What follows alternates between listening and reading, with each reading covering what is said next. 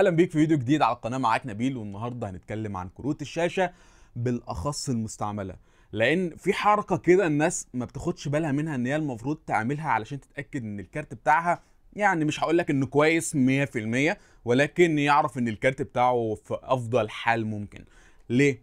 لأن في ناس كتير أصلا بتجيب الجهاز أو الكارت المستعمل عفوا وتعمل كل حاجة. يخش مثلا يشوف ويفحصه ويلاقي الكارت سليم وجميل ومفيش أي مشكلة مع إنه ممكن يتغفل لأن هو مش عارف شكل اللحام السليم عامل إزاي. ولكن إحنا بندور على الحتة الصفراء دي اللي بتبقى عليه لأن دي بتبقى مميزة بالعين وبتبان بسرعة. لو الدنيا مياه صفراء فيه كده ولطيفة فعلى الأغلب بنسبة كبيرة الكارت مش معمول فيه شغل لحام وتلاقي الدنيا تمام مفيش مشكلة وتلاقي المراوح تمام ما فيهاش مشكلة تدور على ال BIOS اللي نازل عليه تلاقيه تمام مفيش مشكلة. تفتح الكارت وتضغط عليه ببرنامج FurMark مثلا نص ساعة وتلاقي درجة الحرارة بتاعته مستقرة ومفيش أي مشكلة وهو شهر. شهر واحد بعد الضمان صديقي العزيز الكارت يبوظ ويقطع منك خالص وتلبس الفلوس اللي انت جبته بيها. وأنا عن نفسي كنبيل شايف إن الكروت المستعملة الحقيقة ما تستحقش نص ثمنها لأنها حرفيا عاملة زي البطيخة. يعني فاهم؟ هي يا صابت يا خابت وغالبا بتخيب بعد الشهر.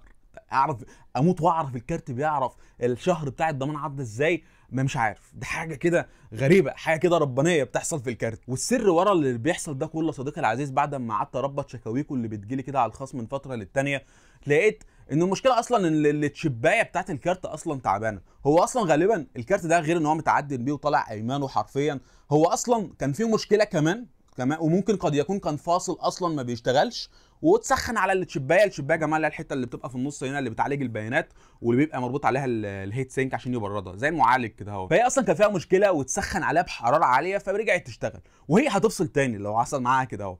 إمتى بقى هتفصل؟ دي حاجة بقى في علم الغيب. يوم ساعة ساعتين. في ناس بيفصل معاها في خلال أسبوع ولا أسبوعين بيبان بسرعة في خلال ضمان الكارت اللي هو أخده. فصاحب المحل طبعا بيقوم منفذ سياسة الضمان لو هو محل محترم.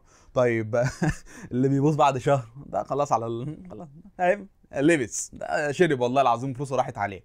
طيب الموضوع ده إحنا إزاي ممكن نكتشفه؟ بص أنا مش هقول لك إن هو في حاجة هتكشفها لك 100% ولكن في حاجة أنت ممكن تعملها تكشف لك الموضوع ده في البداية. مش بنسبة 100% يعني ولكن هتبين لك لو في مشكلة فعلا في الكارت ما هياش باينة في الاختبارات اللي انت عملتها في البداية.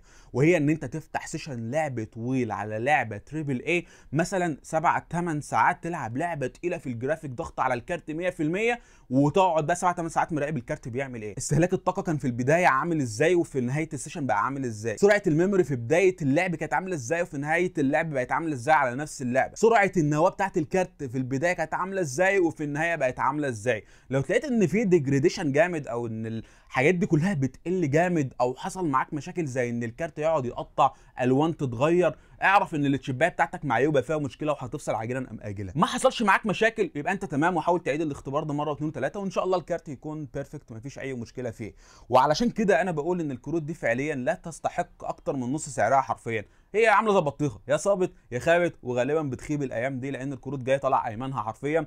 وفي اللي يقول لك الكارت ده استخدام طبيب خارجي صديقي العزيز ما هوش للتعدين ابدا ما كانش بيتعدم بيه. طب فين علب وحاجته أصل الجمرك ما ينفعش نعدي بالعلبة ف ما ينفعش. فعشان كده إحنا جبناه كده هو متعدن وطالع أيمانه وكان متصاين قبل كده واتفك منه التشبايه واتغيرت واتسخن عليها وحصل فيها كل حاجة سيئة في الدنيا. يعني التشبايه دي الدنيا جاية على أكتر منه منك صديقي العزيز. ويجي يقول لك في الآخر ملهاش تعدين ويجيب لك الكارت ملفوف عليه ورقة كده ويقول لك أهو متبرشم.